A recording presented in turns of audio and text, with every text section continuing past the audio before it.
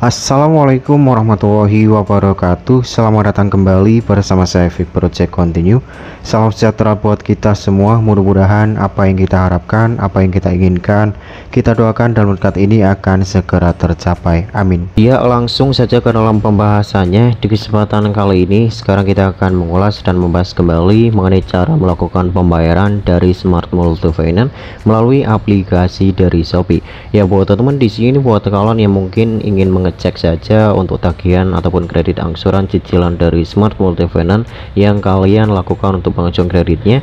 Kita akan mengeceknya melalui aplikasi Shopee dan untuk caranya seperti ini. Jadi buat teman-teman yang ingin melakukan pembayaran juga pastikan di sini kalian memiliki saldo Shopee yang cukup untuk melakukan pembayaran sesuai dari kredit tagihan yang kalian miliki. Namun jika kalian ingin melakukan pembayarannya melalui virtual akun dari BCA, BNI, BRI dan mobile banking dari Primo untuk setiap pelancaran seperti ini kita akan uh, menjelaskan secara detail dan keseluruhan untuk metode pembayarannya. Dan untuk cara mengecek dari kredit angsuran cicilan smart multifinance. Silahkan kalian tinggal pilih saja langsung ke bagian menu pulsa tagihan dan tiket. Di sini yang sudah saya beri tanda diklik sekali. Oke kita dilakukan ke halaman selanjutnya. Di bagian menu tagihan bisa kalian perhatikan terlebih dahulu. Klik saja ke bagian menu angsuran kredit ya di bawah tinggal klik ke menu angsuran kredit selanjutnya di sini. Cari saja smart multifinance scroll saja ke bawah. Ada pada bagian paling bawah ya. Di sini smart multifinance bisa kalian perhatikan. Oke, okay, MNS ya. S di sini sudah terlihat. Ya ada smart finance ya, smart finance di sini. Tinggal diklik sekali. Ya, klik sekali. Kemudian edukasi di sini. ID pelanggan yang kalian miliki ataupun nomor pelanggan kredit yang kalian miliki. Kemudian klik lihat tagihan di bawah Oke, kita akan dilakukan ke halaman seperti ini. Langsung di sini sudah tertera ya dari nomor pelanggan, kemudian nama pelanggan dan tanggal jatuh temponya. Angsuran masuk ke 12 dan di sini ada nomor kendaraannya juga.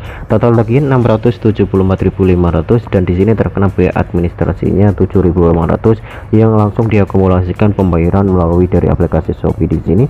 Selanjutnya cara melakukan pembayarannya tinggal lanjutkan saja pilih di bawah ya lanjutkan di bawah dan kita akan menggunakan beberapa metode untuk cara melakukan pembayarannya. Jadi di sini pastikan kalau ada informasi dari nama pelanggan yang sudah benar. Kemudian di halaman metode pembayaran diklik sekali ya. Kita klik sekali Oke, kita akan dialihkan ke metode pembayaran dan di sini ada beberapa metode pembayaran yang bisa kalian gunakan. Nah, jika teman ingin menggunakan pembayaran menggunakan saldo Shopee di atas, ya di sini pastikan kalian mencukupi atau memiliki saldo yang cukup untuk melakukan pembayarannya. Kemudian tinggal diklik saja ke bagian menu Shopee di atas, kemudian klik konfirmasi di bawah. Selanjutnya kalian akan melihat informasi data dari pembayaran kalian sudah berhasil dan cek kembali secara berkala uh, jika tagihan sudah berganti di bulan selanjutnya dan angsuran sudah berpindah di bulan selanjutnya ataupun angsuran sudah masuk ke angsuran yang ke-13 artinya pembayaran yang kalian lakukan sudah langsung masuk dan pembayaran dari Shopify ini langsung masuk di input kurang lebihnya 5 sampai 10 menitan ya. Oke lanjutkan di sini. Jika kalian ingin melakukan pembayarannya menggunakan transfer bank. Ya di sini kita akan contohkan dengan empat metode pembayaran menggunakan BCA virtual akun. Kemudian Bank Mandiri ataupun Livin Bank Mandiri menggunakan dari Mandiri virtual akun. Dan Bank BNI menggunakan dari uh, virtual akun billing ya tentunya menggunakan BNI Mobile dan Bank BRI di sini menggunakan Priva kita akan uh, praktekkan satu persatu. Untuk caranya mudah kalian tinggal ambil saja untuk salah satu kode virtual akun dari rekening bank yang kalian gunakan untuk melakukan pembayaran dari Smart Multifinance ini. Ya di sini saya akan mencontohkan melakukan pembayaran dari Bank BCA dan untuk Bank Mandiri BNI dan Bank BRI nanti disesuaikan ya. Nanti saya akan praktekkan untuk metode pembayarannya. Kita akan ambil virtual akunnya terlebih dahulu sesuai bank yang akan kalian uh, gunakan untuk metode pembayarannya.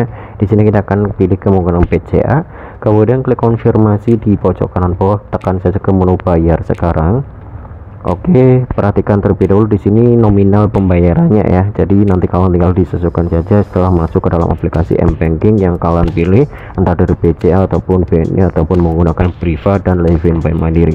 Ya, soalnya kalian tinggal disalin saja kode virtual akunnya ya seperti ini. Kemudian untuk pengguna BCA silahkan kalian tinggal disesuaikan dan BNI tinggal disesuaikan, BRI tinggal disesuaikan dan Levin by Mandiri tinggal disesuaikan. Dan untuk untuk metode pembayaran dan step cara melakukan pembayarannya menggunakan virtual akun dari bank yang kita pilih pilih. Oke untuk PC virtual akun dan dia kalian pilih saja ke menu M transfer kemudian pilih ke PC virtual akun.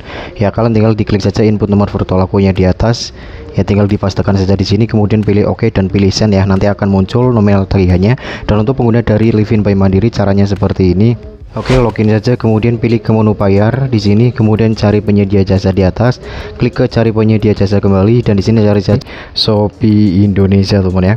Nah, di sini Shopee Indonesia selanjutnya kalian tinggal pastikan saja kode virtual akunnya dan selanjutnya kalian tinggal konfirmasi ke pembayaran saja. Dan selanjutnya kita akan masuk ke dalam aplikasi Primo untuk caranya seperti ini pilih saja langsung ke menu bagian Priva di bagian sini kemudian pilih ke pembayaran baru selanjutnya kalian tinggal pastikan saja di sini kode virtual akun dan salin dari Priva untuk pengguna metode pembayarannya dan selanjutnya tinggal konfirmasi saja untuk melanjutkan pembayaran menggunakan Priva oke untuk terakhir pengguna dari BNI Mobile Banking seperti ini Oke, langsung pilih ke menu transfer di sebelah kiri atas. Kemudian di sini kita akan pilih menggunakan virtual akun billing di bagian kiri bawah. Kemudian input nomor baru, silahkan kalian tinggal inputkan saja di sini nomor virtual akun yang sudah kalian salin. Pengguna dari BNI Mobile Banking dan begitulah untuk cara melakukan pembayarannya. Semoga informasinya bermanfaat. Sampai jumpa kembali di video saya selanjutnya. Bye bye.